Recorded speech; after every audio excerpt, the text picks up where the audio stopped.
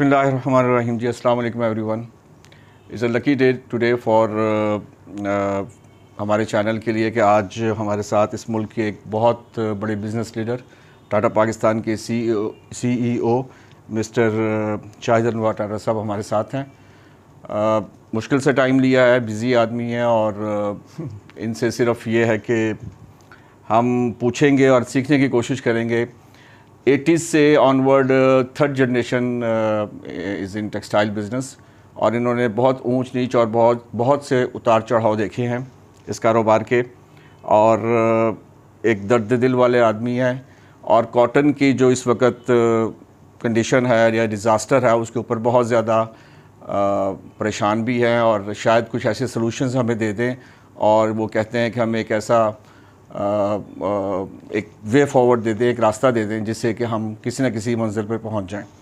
Sir आपका बहुत बहुत शुक्रिया। अस्सलाम वालेकुम everybody thank you very much I am not so hard to get भाई यार। सर बात यह कि मैं तो डर रहा था आपसे टाइम लेने के लिए फिर मुझे लुत्फ़ी साहब ने थोड़ा सा कहा कि आप लाजमी तौर पे जो है ना बात करें। एंड uh, uh, इसके ऊपर ये है कि आपकी एक गाइडेंस जो है और एक वेरी मच फॉर ये टेकिंग दिस इनिशिएटिव और आप ये जो सीरीज़ ऑफ़ इंटरव्यूज़ और जो एफर्ट्स कर रहे हैं मुझे नहीं मालूम कि इसका क्या नतीजा निकलेगा या कितना उसके ऊपर इफ़ेक्ट होगा। लेकिन आप जो कर रहे हैं अल्लाह ताला आपको उसका अजर दे। इंशाल्लाह तो कहते हैं ना कि शिकवा जुल्मत शब से तो कहीं बेहतर था। अपने हिस्से की कोई शम्मा जलाते जाते। क्या बात तो आप अपने हिस्से की शम्मा जला रहे हैं ठीक है। बस सर आपके इनक्रेजमेंट चाहिए और मुझे उम्मीद यह है कि आपसे वक्ता फ़वक्ता जो मेरी बात होती रहती है और उसमें यह है कि आप आप एक आप खुद चाह रहे हैं कि जिस मुल्क में कॉटन का जो इतना बड़ा डिज़ास्टर हो रहा है इसको रिवाइव किया जाए कोई ऐसी शक्ल निकल आए कि हम दोबारा से कम अज़ कम उस जगह पर पहुँच जाएँ कि हम 14-15 मिलियन बेल्स कर रहे थे और वहाँ तक हम पहुँचे और बाकी फिर अल्लाह ताला बेहतर करेंगे।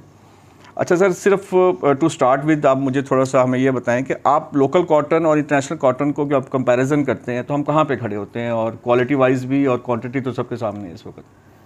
देखिए जो सबसे अनफॉर्चुनेट बात है कि दुनिया की मोस्ट डिस्काउंटेड कॉटन जो है ना वो पाकिस्तानी कॉटन है। Okay okay. इवन जो अफ्रीकन कंट्रीज़ में भी और लैटिन अमेरिका में भी जो कॉटन पैदा होती है उनकी भी वैल्यू इंटरनेशनल मार्केट में ज़्यादा है पाकिस्तानी कॉटन के मुकाबले में।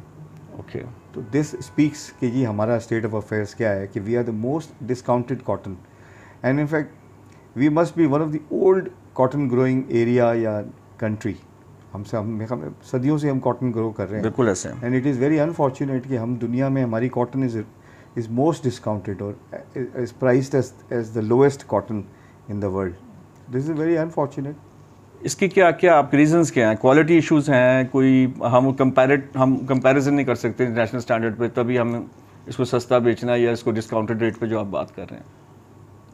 देखिए, सबसे पहली बात तो ये है कि हमारी जो लोग इस स्टेट के साथ मुंसलिक हैं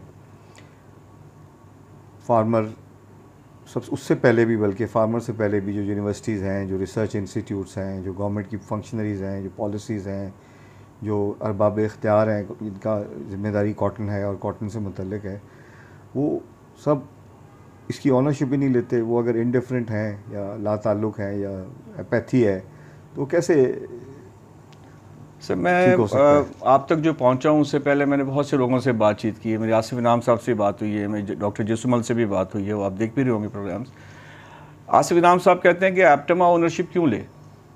एप्टमा तो देखो मैंने अभी नहीं बोला ना आपसे।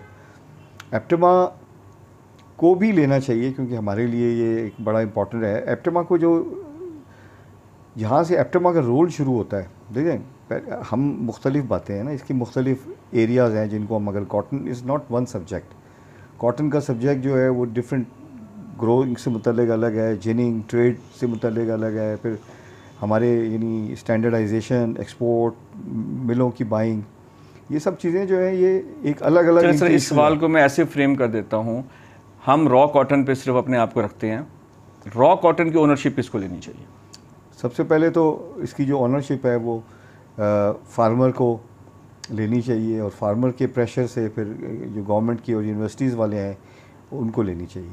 इस वक्त जो हमारे आ, स्टेट के जो इदारे हैं जो जिनको ये एक्चुअली ओनरशिप लेनी चाहिए या जिनको अपनी एक रिसर्च जारी रखनी चाहिए। वो तो बिल्कुल ख़त्म हो चुके हैं। आप पीसीसी में चले जाएँ आप सीसीआरआई में चले जाएँ। अकरबा परवरी करेंगे नेपोटिज्म करेंगे हाँ रिसर्च में आप कॉम्पिटेंट और मेरिट पे लोग नहीं रखेंगे।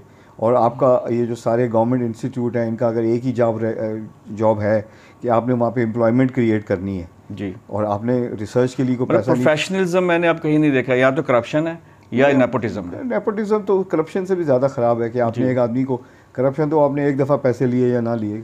नेपोटिज्म किया तो आपने उस इंस्टीट्यूट का बेड़ा गर्क कर बेड़ा गर्क कर दिया। For all times to come वहाँ पे उस नेपोटिज्म की वजह मतलब से एक एक खानदान के बत्तीस बत्तीस लोग और मिडिल पास या मैट्रिक पास जो लोग हैं वो ग्रेड बीस और इक्कीस में बैठे हुए हैं। मैं वही कह रहा हूँ ना कि अगर आपने उसके बाद तो वो इंस्टीट्यूशन कभी पनप ही नहीं सकता कभी कभी वो लेकिन सर अगर हम फॉर एग्जांपल आप लोगों की जो इन्वेस्टमेंट है हम हम पीसीजी की इन्वेस्टमेंट गिनते हैं कि पाँच सौ रुपये से ऊपर है जो इस वक्त बहुत ज़्यादा खतरे का शिकार है। आप लोगों की इन्वेस्टमेंट तो उससे कहीं ज़्यादा है।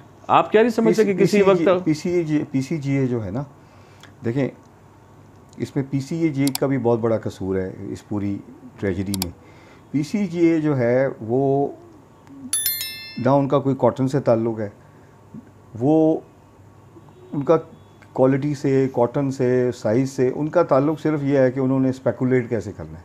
ओके जिनर जो है वो इस मुल्क में ginner ginning is primarily you know services business और जिनिंग का फिर उसमें वो स्टैंडर्डाइजेशन भी होनी चाहिए कोई क्वालिटी कंट्रोल होना चाहिए। ये सब चीज़ों की बजाय हमारी पूरी जिनिंग जो फर्टेनिटी है उसका जो ताल्लुक है वो सिर्फ़ ये है इस बात से है कि आपने सट्टा कैसे करना है और वो भी बगैर मार्जिन और बगैर रूल्स के। ये स्पेकुलेशन करते हैं ginners without any rules set और विदाउट एनी मार्जिनस तो ये बड़ा ख़तरनाक किस्म का सट्टा है और उसमें ये कभी जीत भी जाते हैं मगर ये बहुत ही ज़्यादा बस मैं तो लूज करते हुए देखा मोर डेंजरस स्पेकुलेशन या जुआ देन कसिनो इवन ओके अच्छा सर मुझे अ, ये बात तो एक इसको अगर हम सादा ज़बान में कहें तो उनका कोई क्वालिटी से ताल्लुक़ नहीं समझते वो कोई क्वांटिटी से ताल्लुक़ नहीं समझते वो कहते जो फुट्टी हमारे पास आ जाए हम उसको हम जिनिंग करके उस पर हम सट्टा खेलना शुरू कर दें। ऐसा ही है ना? बिल्कुल ऐसा ही ये एक आम आदमी को समझाने के लिए जो मैं ये बात कहना चाहता हूँ। मेरे मैंने हमेशा पी को पिछले आठ दस साल से जब से मैं इस कारोबार में हूँ मैं उन्हें कहता हूँ कि आप उस दरख्त पे बैठे हैं जिस दरख्त पे बैठे हैं आप उसी को काटे जा रहे हैं। एम आई राइट देखिए मैंने कई दफ़ा एक्सपीरियंस किया है ब्राज़ील इज़ सो फार उनके ग्रोअर्स और उनके जिनर्स जो हैं वो यहाँ पाकिस्तान में आके प्रेजेंटेशंस दे रहे हैं कि आप हमारी कॉटन लें इसमें ये अच्छाई है हमने अब कंटेमिनेशन कर, लिया है हमारा फाइबर इतना अच्छा है। कॉन्स्टेंटली अमेरिकन जो हैं हालाँकि उनकी क्रॉप जो है वो बड़ी अभी भी बहुत उनका सिस्टम उनकी सारी चीज़ें बहुत अच्छी हैं मगर कांस्टेंट ट्राई कर रहे हैं वो इसको इम्प्रूव करने की और फिर ना सिर्फ़ इम्प्रूव करने की मगर वो अपने बायर के साथ कनेक्ट करने की कोशिश कर रहे हैं। आज भी वो हर तरह के प्रोग्राम्स यहाँ चला रहे हैं ट्रेनिंग कर रहे हैं। सीसीआई जो है कॉटन काउंसिल इंटरनेशनल है, वो इतने एफर्ट्स कर रही है। ब्राज़ीलियन कॉटन एक्सपोर्टर्स शिपर्स की जो एसोसिएशन है, वो यहाँ पे एफर्ट्स कर रही है। सारी दुनिया वाले अपनी कॉटन की मार्केटिंग के लिए, उसके लिए वो एफर्ट करते हैं। वो उसकी क्वालिटी और उसके मेरिट्स गिनवाते हैं। हमारे यहाँ मतलब अनफॉर्चुनेटली हम कॉटन को एक ज़माने में था वैसे। सी सी के ज़माने में चीज़ें बहुत बेहतर थी। सी सी वो कॉटन ग्लोबली मार्केट करती थी।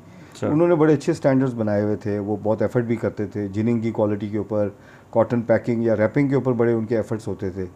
मगर अनफॉर्चुनेटली सी सी के बाद बड़ा डिक्लाइन कोई ऐसा इदारा नहीं रहा हमारे पास। कोई तेज़ हो गया। और हमारे जो जिनर्स हैं ना अनफॉर्चुनेटली मैं समझता हूँ कि इसमें एक बहुत माजरत के साथ प्लीज़ माइंड नहीं कीजिएगा। मैं एक सर प्लीज़ आप ओपन बात करें सर ईमानदारी वाला हाँ, असेसमेंट दे रहा हूँ। इस ट्रेड को ख़राब करने में जिनिंग सेक्टर का भी बहुत बड़ा हार है हाथ है। ओके तो आप मेरा अपना ख्याल है कि जिनिंग सेक्टर जो है ना वो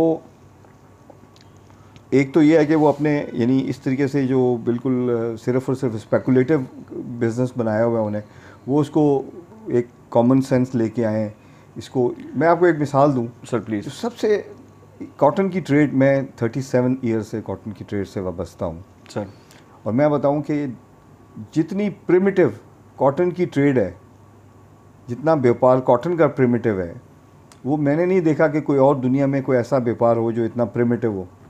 ओके हर व्यापार की पाँच चीज़ें बड़ी फंडामेंटल हैं। सर सबसे पहले तो आप ये बताते हैं कि आपने ख़रीदा क्या है। Okay okay. स्पेसिफिकेशन क्या है उसकी ग्रेड क्या है लेंथ क्या है स्ट्रेंथ क्या होगी बाकी पैरामीटर्स आप सेट करते हैं माइक सेट करते हैं। दूसरा होता है कि प्राइस क्या है तीसरा होता है कि डिलीवरी क्या है पेमेंट क्या है। सही है। तो हम हम ये स्पेसिफाई नहीं करते इस ट्रेड में कि हमने ख़रीदा क्या देर इज़ नो कॉन्ट्रैक्ट कुछ भी नहीं है सर लेकिन सर मुझे इस पे एक एलिगेशन हमारे बायर जो है पहले तो हमें एक कॉन्ट्रैक्ट बनाना पड़ेगा जिस कॉन्ट्रैक्ट की सेंटिटी हो। सर कौन बनाएगा? मतलब आई थिंक जिनर्स एसोसिएशन का जनरल एसोसिएशन को भी भी नहीं है। मैंने देखा है मैं मैं डील कर रहा हूँ। कि उनका काम है कि वो स्पेकुलेटिव ट्रेड कर रहे हैं। मैं मैं डील कर रहा हूँ। बायर साइड हमेशा ऑल बायर्स जो है वो कॉन्ट्रैक्ट मांगते हैं रिटर्न कॉन्ट्रैक्ट जिनर साइड जो है वो कहता है जी सौदा हो गया बस काफ़ी है ना. मतलब जिनर साइड मतलब वो दे आर नॉट बाउंड के जी आप वो दे क्या रहे हैं? वो कहते हैं जी ये 200 बेल है ये रेट के ऊपर तय हुई है आपने उठाना उठाए नहीं उठाना ना उठाए अगर नहीं उठाते मार्केट ऊपर नीचे होती है वो सारा एलिगेशन बायर के ऊपर आ जाता है. मैं वो they are not concern with the quality actually यार ये कारोबार ही सच्चा नहीं है कि जब आप बता ही नहीं रहे कि आपने ख़रीदा क्या और उसने बेचा क्या है। लेकिन सर आप एप्टमा जो है as a buyer single export तो इस वक्त हमारी ना होने के बराबर है। मैंने तो कोशिश की थी एक ज़माने में बहुत। स्ट्रॉन्ग कोशिश की थी कि मैं इसका कोई कॉन्ट्रैक्ट बनाऊँ जिसमें सारी चीज़ें लिखी जाएँ उस पर ऑनर हो और इस बिज़नेस में कोई सेंक्टिटी लेके आई जाए। सर आपने एज ए इंडिविजुअल कोशिश की थी या एप्टमा की तरफ़ से? एप्टमा के प्लेटफॉर्म से। लेकिन मैंने तो उस वक्त ये देखा था कि इवन एप्टमा मेंबर्स जो थे ना वो इस चीज़ के लिए तैयार नहीं तैयार नहीं थे। क्योंकि ये बिल्कुल मादर पितर आज़ाद है सब्जेक्ट टू अप्रूवल कोई कारोबार थोड़ी होता है। कोई कारोबार नहीं सर। एक छोटा सा जो हमारे बायर के ऊपर लोग ये लोग बात करते हैं जिनर साइड भी या बाकी लोग भी कि जानबूझ के क्वालिटी साइड पे आप लोग नहीं आती है ग्रेडिंग वाली साइड पे नहीं नहीं, आते। देखो ग्रेडिंग और क्वालिटी जो है ना वो एक जैसे एक ज़माने में रही यार खान में बड़ा एफर्ट शुरू हुआ कि जी हम सी बना रहे हैं। सर। देखो हम मुझे अगर एक मिल मेरी मेरी जो एक मिल है वो एक पैंसठ सत्तर हज़ार बेल इस्तेमाल करती है। मुझे अपने कस्टमर को यानी पूरे साल एक जैसी क्वालिटी देनी।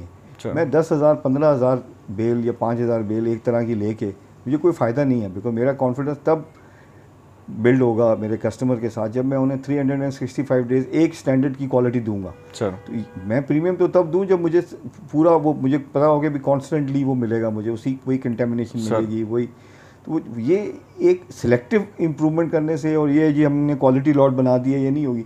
ये पूरा सेक, पूरा सेक्टर आपको इम्प्रूव करना पड़ेगा। पूरे सेक्टर में आपको ग्रेडिंग सिस्टम्स वगैरह वो सब चीज़ें लानी पड़ेंगी और बहुत बड़े इनकलाब की ज़रूरत है जिनिंग सेक्टर में।